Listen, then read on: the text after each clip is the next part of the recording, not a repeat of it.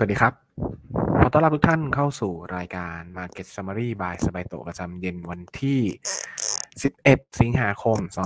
2566 นะครับ ก่อนวันหยุดยาว 3 วันนะครับ ก็ตลาดหุ้นนะครับ ก็ส่งท้ายสัปดาห์นี้ได้ค่อนข้างโอเคเลยนะครับ ก็ปิดบวกมาประมาณ 1.75 จุดนะครับ หรือประมาณ 0.11%นะครับ มาอยู่ที่ระดับ 1,535.16 จุด ด้วยมูลค่าการซื้อขายที่ประมาณ 60,000 1,000 ล้านบาท นะครับ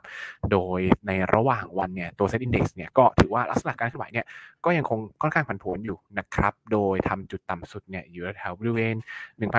1,528 นะครับแต่ว่าทำจุดสูงสุดเนี่ยอยู่แถวบริเวณประมาณ 1,540 ซึ่งเป็นแนวต้านที่เรา brief ไว้นะครับ ก็ถือว่าเคลื่อนไหวแกว่งแคบนะครับรอดูความคืบหน้าใหม่ๆนะครับหลังจากที่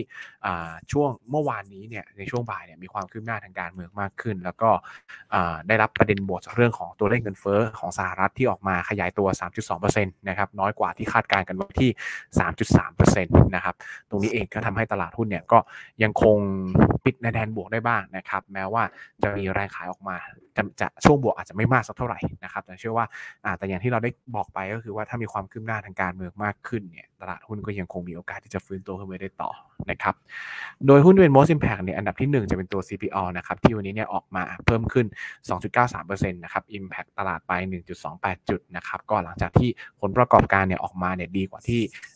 คอนเซนแซสเนี่ยคาดการณ์กันไว้นะครับอันดับที่ 2 เป็นตัว Delta นะครับบวกขึ้นมา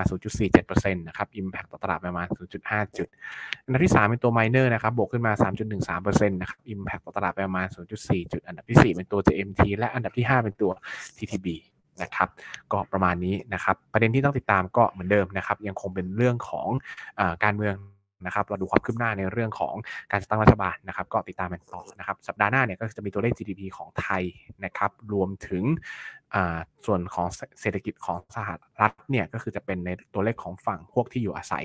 นะครับก็เราดูกันต่อไปนะครับส่วนภาพทางเทคนิคก็สะสมกำลังอยู่ฐานบริเวณ 1,530 นะครับยืนได้ก็ลุ้นฟื้นตัวต่อกลับมาพบกับ